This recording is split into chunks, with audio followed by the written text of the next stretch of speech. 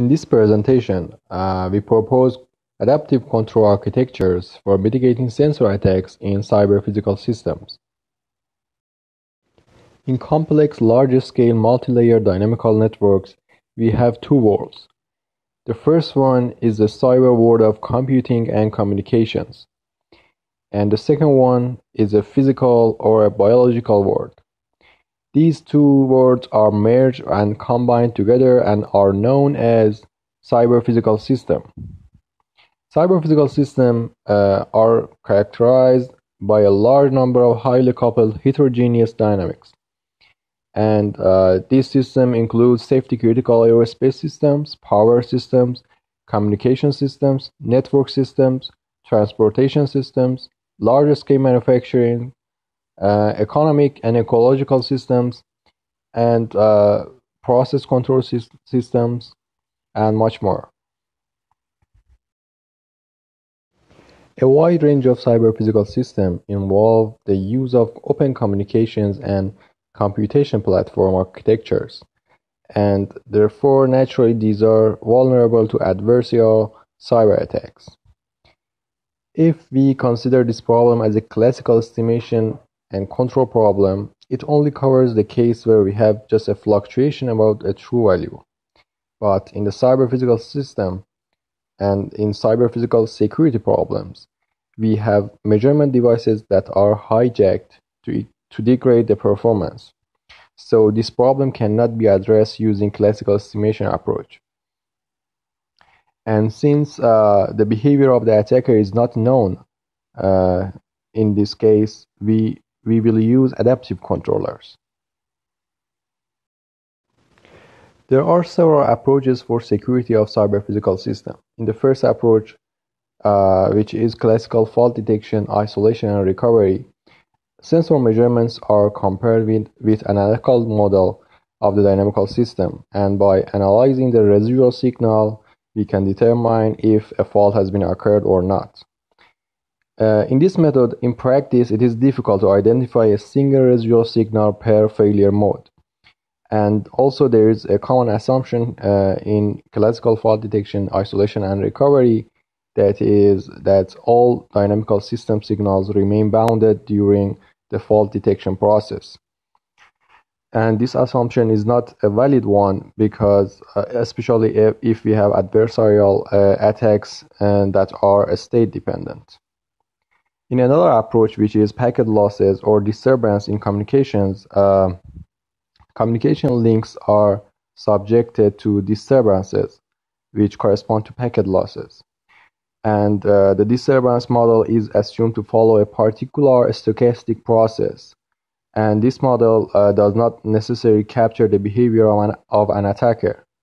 So, in order to address the problem of security of cyber physical system, we utilize adaptive control architecture to compensate the effect of uh, state independent and state dependent uh, cyber attacks. Uh, why are we using adaptive control? Uh, because in fixed gain controllers, there's uh, always trade-off between the performance and uh, the, un- the uncertainty.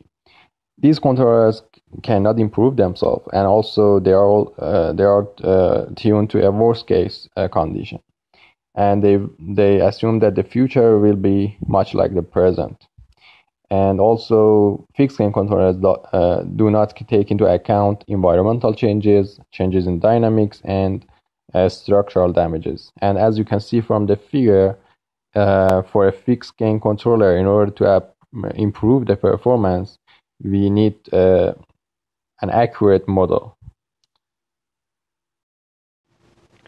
On the other hand, adaptive controllers, uh, they can tune themselves to achieve uh, a given performance and uh, they do not rely much on the modeling. They can improve themselves under some adverse conditions and they are not just tuned to the worst case con conditions. And as you can see from this figure, for a, given model modeling accuracy, adaptive controllers can achieve uh, much higher performance than fixed gain controllers. We consider this linear dynamical system x dot equal to ax plus bu. And uh, we assume that the compromised system state is available for feedback, which is x tilde, and it is equal to x plus delta, which is delta is uh, the cyber attack signal. If we do not have any uh, sensor attacks or cyber attacks, uh, delta is equal to zero, and we just simply use u equal to kx to mimic the uh, structure of the reference system. But in uh, in the problem that we are considering, delta is not equal to zero, and uh, we use we, we, we are we are allowed to use x tilde in the controller. So we also add a corrective signal v uh, in order to compensate the effect of delta in the system. We consider two uh, main sections, state independent and state dependent, uh, which can be categorized into time varying and uh, time invariant cases. So in overall, we have four cases, and we will consider uh, each of these uh, individually. So for the first case, uh, basically we have a constant delta, which is added to our state vector. We propose uh, these two update laws in the red box for delta hat and x hat delta has delta hat is the estimation of uh, signal delta and x hat is the estimation of our state. So uh, corrective signal is shown in the blue box. Uh, by applying this, uh, we get the closed loop uh, system in the green box, uh, we, in which we define the error E as x tilde minus x hat minus delta hat. And the estimation error uh, of uh, delta is delta tilde equal to delta minus delta hat. We use uh, Lyapunov stability uh, and we use this uh, Lyapunov candidate function. And since v dot is less than or equal to zero, uh, we can conclude that uh, the closed system is Lyapunov stable. And since v double dot is a bounded term, we can use Barbalat's lemma to conclude that the E and uh, delta tilde both uh, convert to zero as time goes to infinity. And also we can conclude that x, x tilde, and x hat, all of them are bounded, and uh, x will converge to x hat eventually. Therefore, all of the signals that are used in the controller and in the uh, corrective, corrective signal V, all of them are bounded. In the second uh, section, we consider a time varying delta which is state independent. We have an assumption that delta is upper bounded by delta bar and also its derivative is uh, upper bounded by delta dot bar. Uh, we use the same uh, corrective corrective signal V and uh, for the update laws we use some similar terms but we are using projection operator in order to guarantee that our uh, uh, estimated signals are bounded. By uh, plugging the, these in, into the system, we achieve closed loop system dynamics as shown in the green box. Again, by using Lyapunov stability and using this Lyapunov uh, candidate function, we achieve uh, uniform ultimate boundedness and we achieve these two bounds uh, for the error E and delta tilde signals uh, with these uh, parameters and we can uh, conclude that all of the signals that are used in the controller, all of them are bounded. So the third case is a state-dependent uh, sensor attack which is uh, time invariant.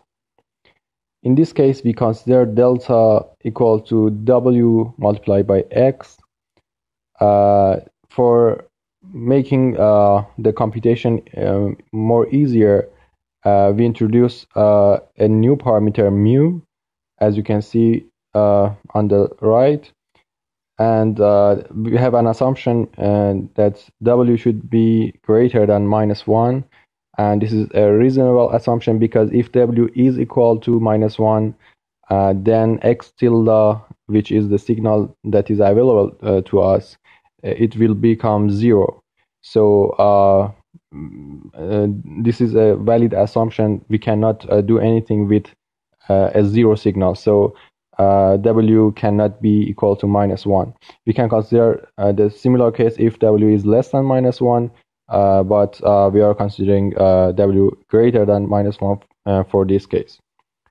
So we propose the corrective signal V in the blue blue box, as you can see and uh, we propose uh, the update law mu hat dot as you can see here.